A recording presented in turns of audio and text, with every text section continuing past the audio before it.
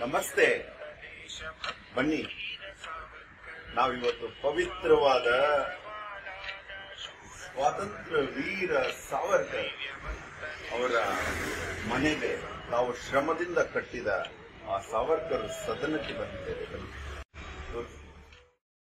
ನೀವು ನೋಡುತ್ತಿರುವ ಈ ಸ್ಥಳದಲ್ಲಿ ಒಂದು ಐತಿಹಾಸಿಕ ಘಟನೆ ನಡೆದಿದೆ. ಇದೇ ಸ್ಥಳದಲ್ಲಿ ಸುಭಾಷ್ ಚಂದ್ರ ಬೋಸ್ ಮತ್ತು ಸ್ವಾತಂತ್ರ್ಯ ವೀರ ವಿನಾಯಕ ದಾಮೋದರ ಸಾವರ್ಕರ್ ರಾಷ್ಟ್ರದ ಮತ್ತು ಕ್ರಾಂತಿಯ ಬಗ್ಗೆ ಚರ್ಚಿಸುತ್ತಿದ್ದರು. ರಾಶ್ ಬಿಹಾರಿ ಬೋಸ್ ಅವರು ಬ್ರಿಟಿಷ್ ಸರ್ಕಾರದ ವಿರುದ್ಧದ ಭಾರತೀಯ ಕ್ರಾಂತಿಕಾರಿ ನಾಯಕರಾಗಿದ್ದರು.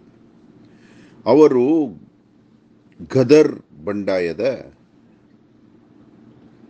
ಪ್ರಮುಖ ಸಂಘಟಕರಲ್ಲಿ ಒಬ್ಬರು ಮತ್ತು ಅವರು ವಿನಾಯಕ ದಾಮೋದರ ಸಾವರ್ಕರ್ ಅವರ ಸೈನಿಕೀಕರಣ ನೀತಿಯ ಆಧಾರದ ಮೇಲೆ ಮತ್ತು ಸುಭಾಷ್ ಚಂದ್ರ ಬೋಸ್ ಅವರ ನೇತೃತ್ವದಲ್ಲಿ ವಿಶ್ವದ ಎರಡನೇ ಮಹಾಯುದ್ಧದ ಸಮಯದಲ್ಲಿ ಮೊದಲ ರಾಷ್ಟ್ರೀಯ ಸೇನೆಯನ್ನು ಸ್ಥಾಪಿಸುವಲ್ಲಿ ಸಹಾಯ ಮಾಡಿದರು. ವಿನಾಯಕ ದಾಮೋದರ ಸಾವರ್ಕರ್ ಅವರು ಸುಭಾಷ್ ಚಂದ್ರ ಬೋಸ್ ಮತ್ತು ರಾಶ್ ಬಿಹಾರಿ ಬೋಸ್ ರವರ ನಡುವಿನ ಪ್ರಮುಖ ಸಂಪರ್ಕಕ್ಕೆ ಕೊಂಡಿಯಾಗಿದ್ದರು. ಸಿಂಗಾಪುರದ ಮೇಲೆ ಜಪಾನಿ ಆಕ್ರಮಣದ ಸಮಯದಲ್ಲಿ ಬ್ರಿಟಿಷ್ ಭಾರತೀಯ ಸೇನೆಯ ಸೈನಿಕರು ಐಎನ್ಎಗೆ, ಇಂಡಿಯನ್ ನ್ಯಾಷನಲ್ ಆರ್ಮಿಗೆ ಸೇರಿದರು.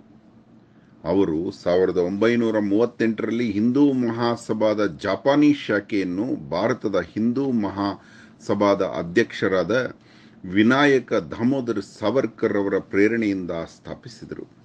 ರಾಶ್ ಬಿಹಾರಿ ಬೋಸ್ ಅವರ ನೇತೃತ್ವದಲ್ಲಿ ಸಾವಿರದ ಒಂಬೈನೂರ ನಲವತ್ತೆರಡರಲ್ಲಿ ಭಾರತೀಯ ರಾಷ್ಟ್ರೀಯ ಸೇನೆಯನ್ನು ರಚಿಸಲಾಯಿತು.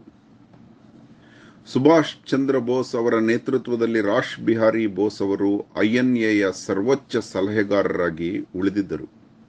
ಆಗ ಭಾರತದಲ್ಲಿ ಬ್ರಿಟಿಷ್ ಸೈನ್ಯದ ವಿರುದ್ಧ ಐಎನ್ಎಯು ಹೋರಾಡಿದಾಗ ಸೈನಿಕರಲ್ಲಿ ಹೋರಾಟದ ಕಿಡಿ ಹುಟ್ಟಿತು. ಕ್ರಮೇಣ ಬ್ರಿಟಿಷರು ತಮ್ಮ ಸೈನ್ಯದ ಮೇಲೆ ನಿಯಂತ್ರಣವನ್ನು ಕಳೆದುಕೊಂಡರು.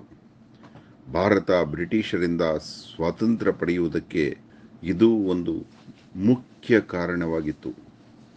ಧನ್ಯವಾದ. ಅಹೋರಾತ್ರ.